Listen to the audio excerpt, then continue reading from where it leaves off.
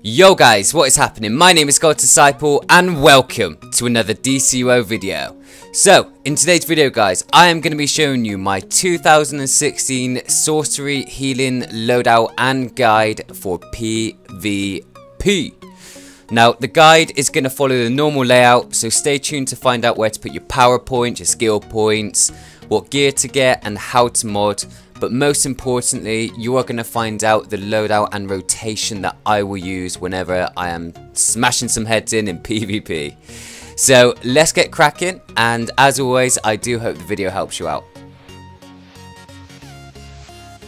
So first up guys, I'm going to be showing you where to put your power points. So with Sorcery, you have two power trees. You have Destiny and Summoning.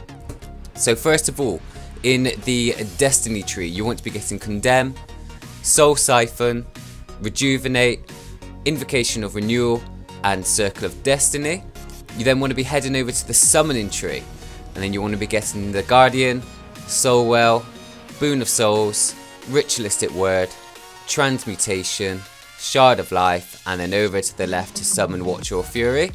Now, this should leave you with three power points left over, so you want to be getting Word of Power, and then you want to be getting the two healer buffs, so Miracle Worker and Empathic Healing. So next up guys, we're heading over to your skill points. Now I tell you guys to do this every time. First things first, go in your movement mode and get it because you don't want to be specking all your skill points and forgetting about this bad boy.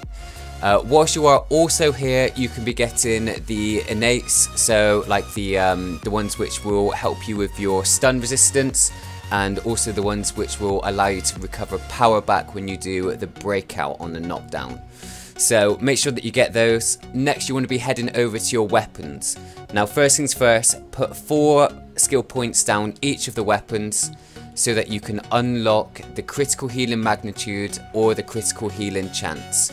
I am a big supporter of getting this guys, so I would always recommend getting this first of all in each weapon tree, just so that you can get those crits that you everybody loves. Next what you want to be doing guys is going over to your preferred weapon. So I am using the one-handed at the moment, and what you want to be doing in as many of these weapon trees as you can is putting at least 21 skill points in so that you can unlock restoration at the bottom.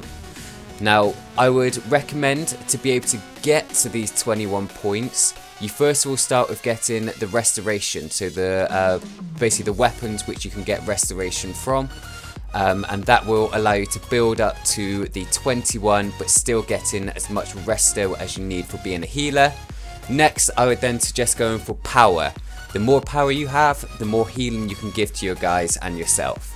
Um, anything after that, I would look to recommend put it in like the crit attack chances or damages, just so then you're doing a bit of additional damage as well whilst you're healing.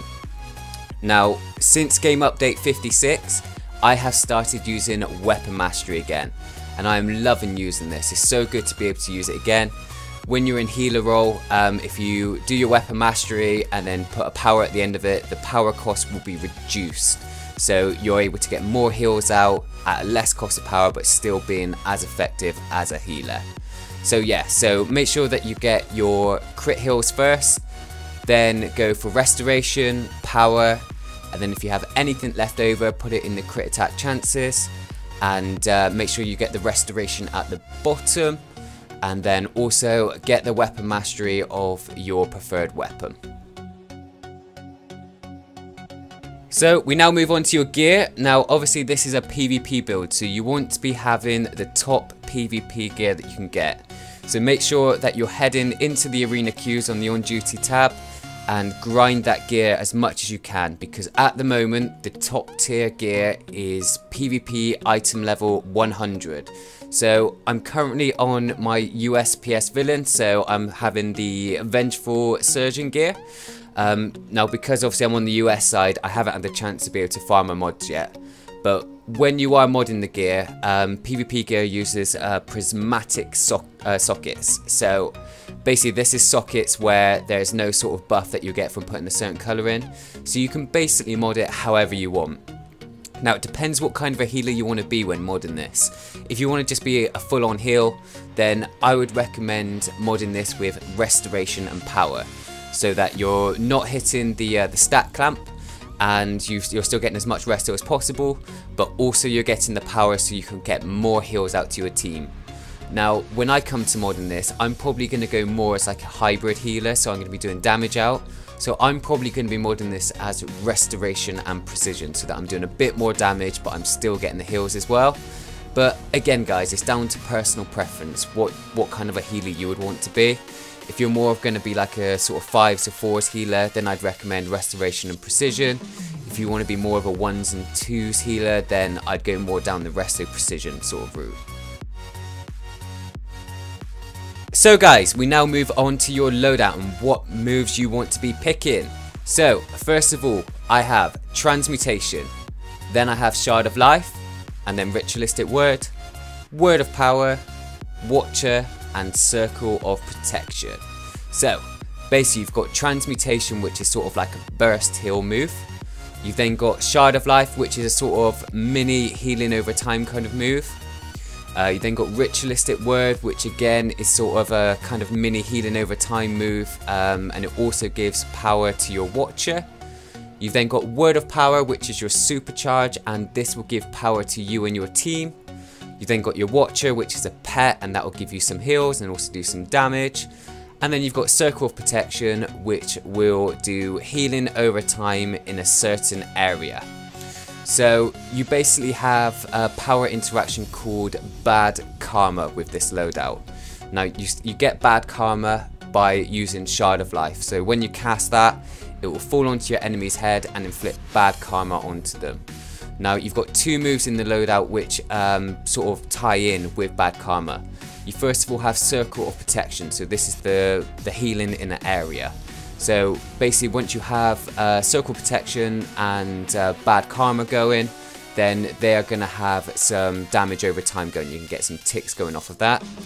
And then you also have Transmutation, which will tie in with Bad Karma. Basically, you'll get additional damage when you've got Bad Karma going, and you do Transmutation on top of that.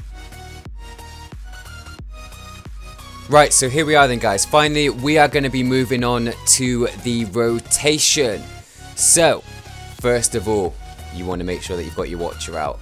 Always have your watcher out because you are going to be getting some decent heals coming from this little bad boy. And he's just going to be there doing some work for you whilst you're going through your rotation. So always have your watcher out.